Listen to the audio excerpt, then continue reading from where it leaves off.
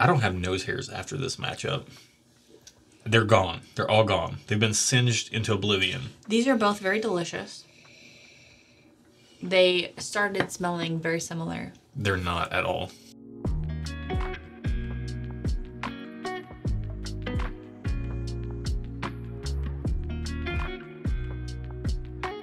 Welcome to the channel, bringing a real world perspective to the real world whiskey consumer. I'm Josh. And I'm Erin. And we are back with another double blind head to head where we draw these samples at random, this matchup at random from Yes. our double blind sample pool of head to head matchups.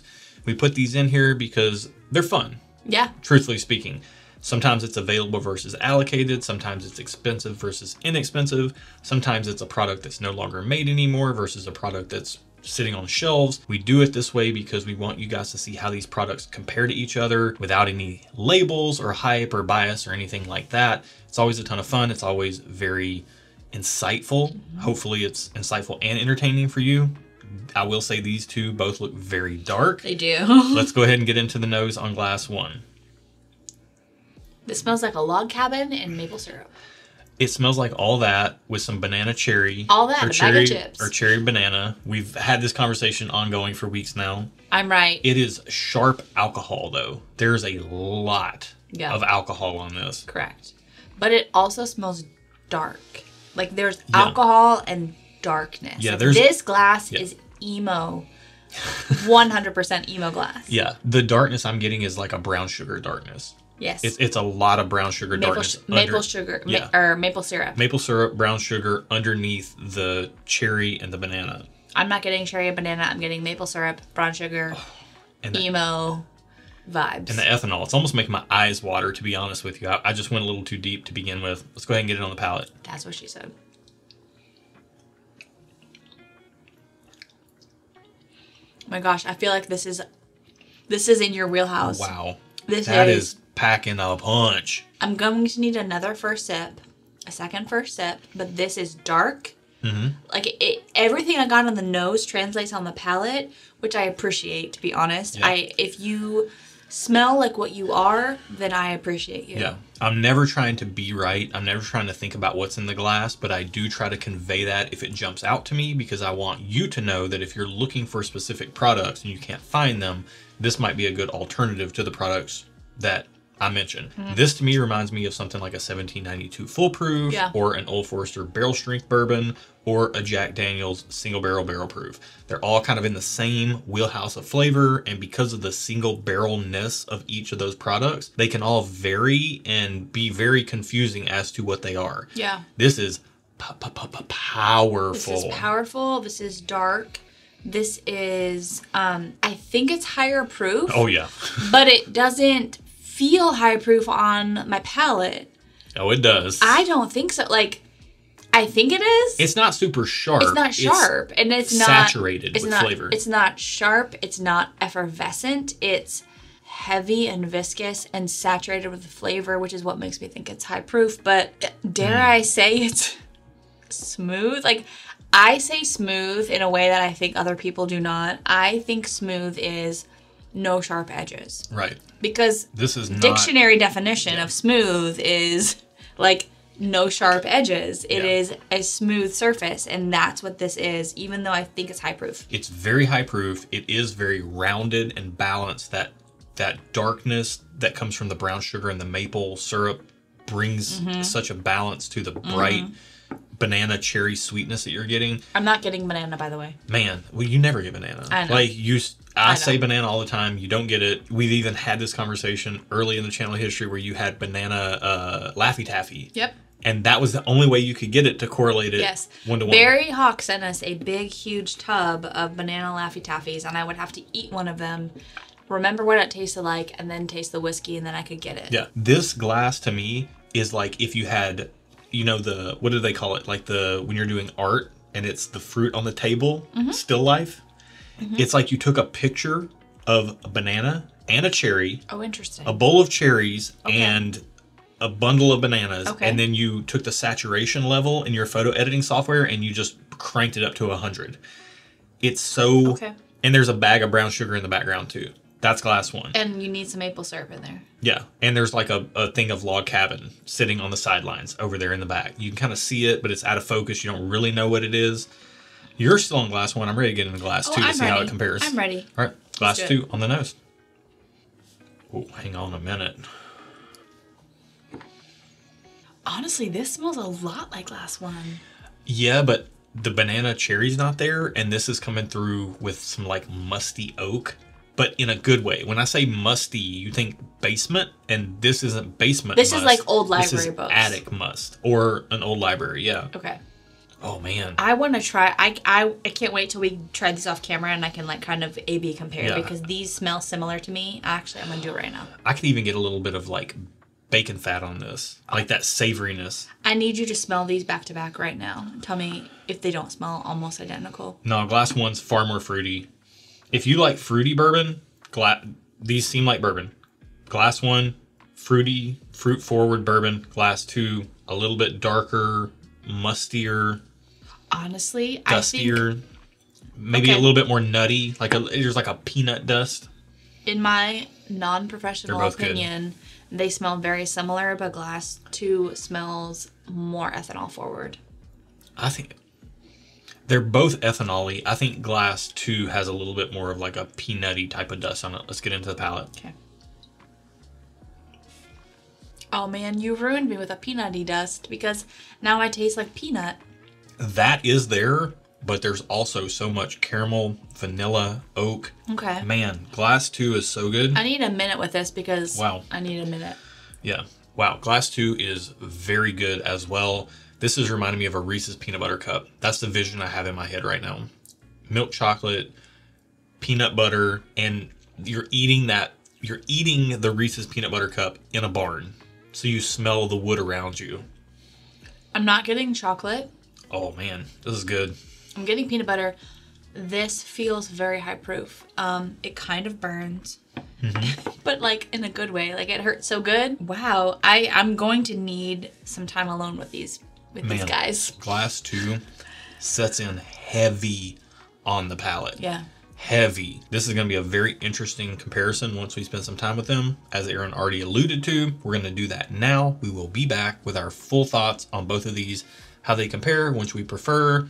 We'll give some rankings, see how the price changes those, and then find out what we're drinking. Be right back.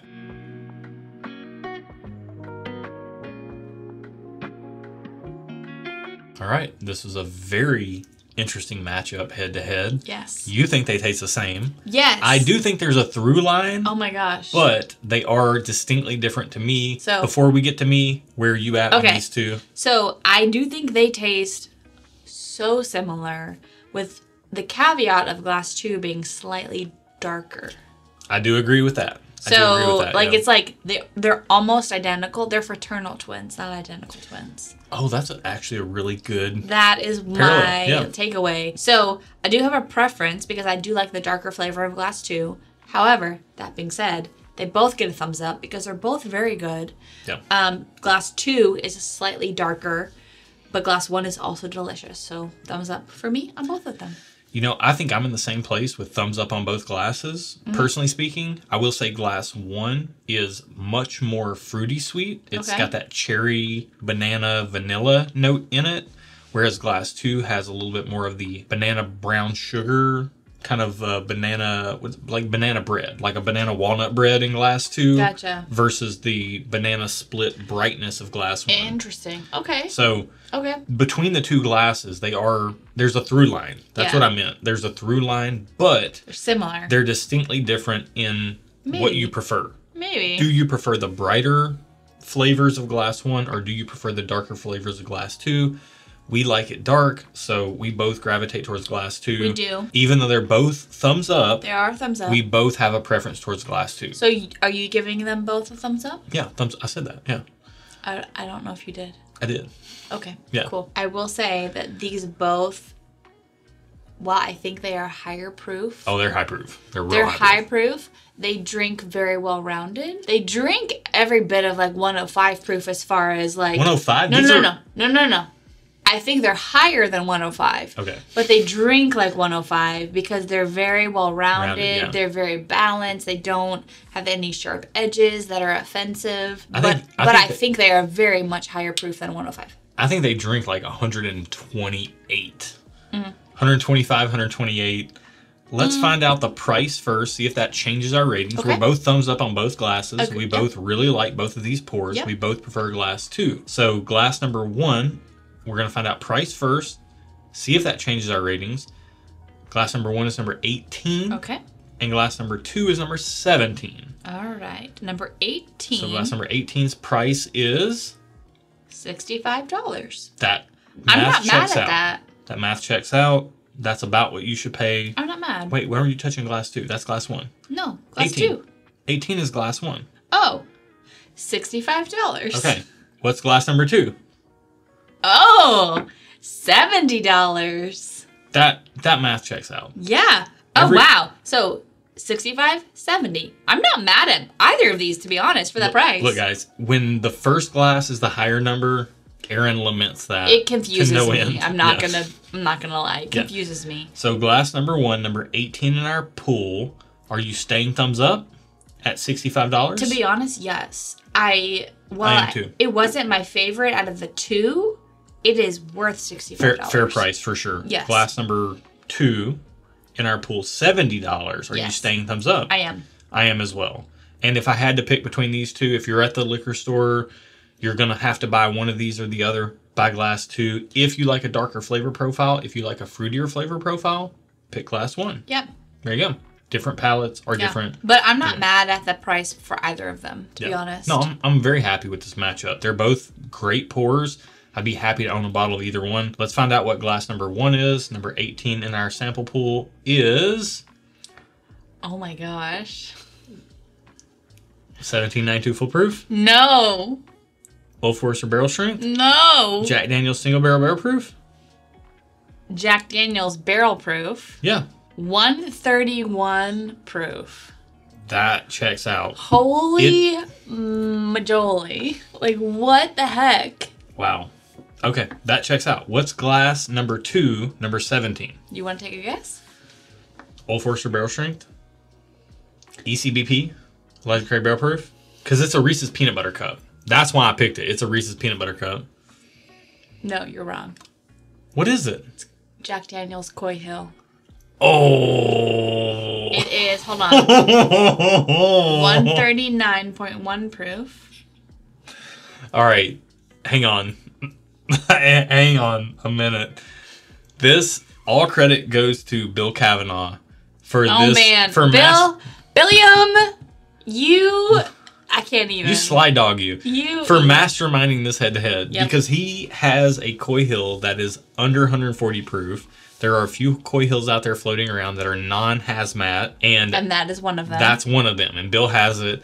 He gave us this sample to put up against our 131 proof Jack Daniels single barrel barrel proof. and we picked it. We Wow, picked the okay. we picked the Coy Hill. We did pick the Coy Hill, and it was pretty easy for me to decide this because it was darker. And I I do want to say that we have now had this channel for almost two years now, so we have been acclimated to whiskey. So if you're new to whiskey, Coy Hill in These are not your general is very hot. And even me, as someone who is not like a whiskey nerd like Josh is, I'm not a proof hound. I'm not a whiskey nerd. Like I honestly, I drink because it's fun. I get to hang out with my husband. I get to hang out with you guys. I love Coy Hill, but I've been doing this channel for two years. If we had had Coy Hill two years ago when we first started this channel, it would have blown my face off. So I just want to let that be known. Wow, this was super interesting. I just took a sip of both of them, knowing what they are. Everything stands. Yeah. I'm trying to catch my breath because they're both very high proof. They have a lot of oomph to them. Yeah. This is super fascinating. We both prefer Coy Hill, Correct. but As- Jack Daniels Barrel Proof held Which- its own. It, honestly, they, Jack Daniels has been doing really good things with their non like regular stuff. Uh, to be to be honest, we are in Nashville, Tennessee. We have a lot of Jack Daniels bias We go to Nashville Sounds games. We, We do. drink Jack and Cokes. We, We do, but I have to say also because we are in Nashville, Jack Daniels, the regular stuff like Jack the Daniels, old number seven. Old Number Seven, Jack, or yeah. the Jack Daniels Honey, all that Yeah. stuff kind of gets like a bad rap because that's like what you drink when you're in college. Yeah. Anything that's not that, fantastic. Yeah. Don't discount Jack Daniels. They're doing fantastic work. Yeah. The rye is amazing, the barrel proof rye. Even their regular 94 proof single barrel Tennessee whiskeys.